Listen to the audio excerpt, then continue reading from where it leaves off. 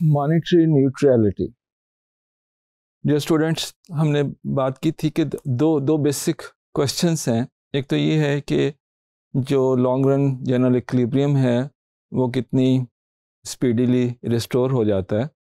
और इसी से रिलेटेड एक क्वेश्चन ये है कि जो नॉमिनल वेरिएबल्स में चेंज आती है मनी सप्लाई में चेंज आती है तो ये इकोनॉमी को किस तरह से इफ़ेक्ट करती है? रियल वेरिएबल को किस तरह से इफ़ेक्ट करती है।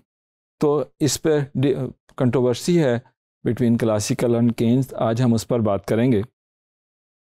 Money is neutral if a change in the nominal money supply changes the price level proportionally but has no effect on real variables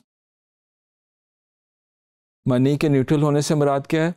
कि जब मनी सप्लाई चेंज होती है तो अगर प्राइसेस उसी प्रपोर्शन से चेंज हो जाए तो इसके नतीजे में रियल वेरिएबल अफेक्ट नहीं होंगे तो हम इसको कह रहे हैं कि money is neutral classical view is that monetary expansion affects prices quickly with at most a transitory effect on real variables classical school of thought का पॉइंट ऑफ़ व्यू ये है कि जब भी मॉनिटरी एक्सपेंशन होगी तो उसके नतीजे में प्राइसेस बहुत क्विकली एडजस्ट कर जाएँगी और प्रोपोर्शनली वो भी चेंज हो जाएँगी।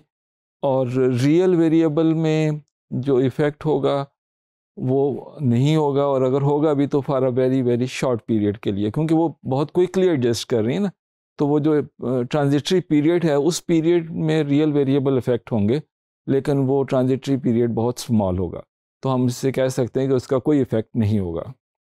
जबकि केन्स का पॉइंट ऑफ़ व्यू इससे डिफरेंट है।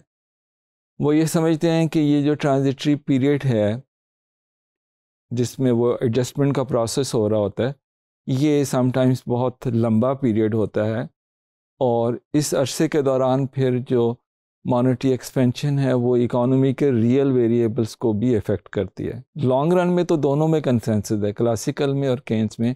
दोनों इस बात पर एग्री करते हैं कि लॉन्ग रन में नॉमिनल वेरिएबल्स और रियल वेरिएबल्स इनमें डाइकाटोमी होती है नॉमिनल वेरिएबल्स रियल वेरिएबल्स को अफेक्ट नहीं करते।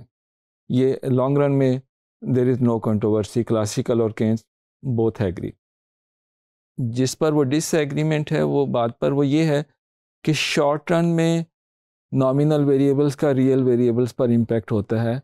अब क्वेश्चन ये है कि वो शॉर्ट रन जो है, वो कितना कितना शॉर्ट है?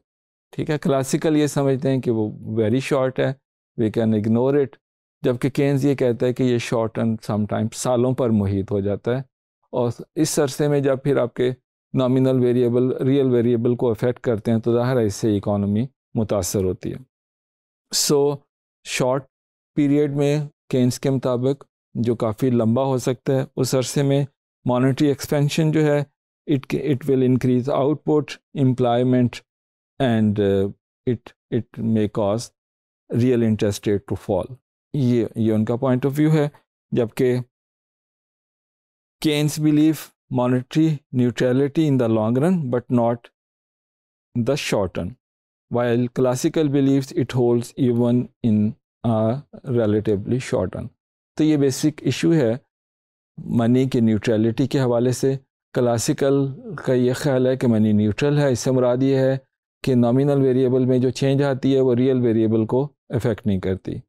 केन्स ये कहते हैं कि नहीं, वो इफ़ेक्ट करती है शॉर्ट रन में, ठीक है? और वो शॉर्ट रन काफ़ी लंबा हो सकता है। इसलिए हमें उसके बारे में केयर करने की ज़रूरत है। Thank you very much